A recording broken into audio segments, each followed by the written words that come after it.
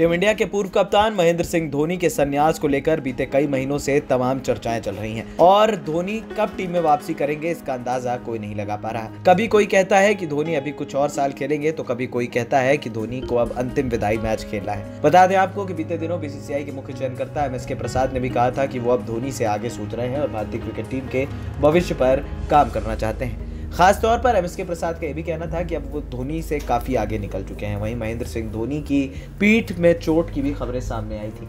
ऐसे में बांग्लादेश के खिलाफ पहले टी में खेले गए मुकाबले में जिस तरीके से ऋषभ पंत का प्रदर्शन रहा और डीआरएस के गलत फैसले ऋषभ पंत ने लिए, उसके बाद महेंद्र सिंह धोनी की वापसी की उम्मीदें और ज़्यादा बढ़ने लगी क्योंकि फैंस को महेंद्र सिंह धोनी वापस टीम में चाहिए थे। ऐसे में टीम कॉम्बिनेशन को लेकर टीम इंडिया के पूर्व कप्तान राहुल द्रविड़ ने भी अपनी चुप्पी तोड़ी है। जी हाँ खबरों की माने तो एक इंटरव्यू में राहुल द्रविड़ ने साफ़ कहा कि ऋषभ पंत को अभी धोनी बनने में समय लगेगा।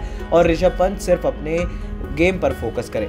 द्रविड़ ने कहा कि मौजूदा समय में टीम इंडिया के संतुलन को बिगाड़ना ठीक नहीं है, ऐसे में धोनी की वापसी ज़रूर से ज़रूर कराई जानी चाहिए। द्रविड़ ने भी कहा कि उन्हें लगता है कि धोनी अगला वर्ल्ड कप खेल सकते हैं, ऐसे में धोनी को फिट होकर टीम में वापस लाना चाहिए। द्रविड़ ने भी कहा कि महेंद्र सिंह धोनी जैसा फिनिशर और उनके जैसा कीपर भारतीय टीम के पास होना एक बहुत किस्मत की बात है, ऐसे में ऐसे खिलाड़ी को टीम से बाहर करना कहीं से भी सही नहीं है। यानी कि द्रविड़ ने बातों ही बातों में इशारा कर दिया कि महेंद्र सिंह धोनी की वापसी बहुत जल्द होनी चाहिए, क्योंकि वो टीम के नायाब सितारे हैं और वो टीम को अगले साल होने वाले वर्ल्ड टी ट्वेंटी के लिए एक बड़ा मार्गदर्शन दे सकते हैं। देखना दिलचस्प होगा कि बीसीसीआई द्रविड़ की बात मानकर क्या धोनी की वापसी कराती है।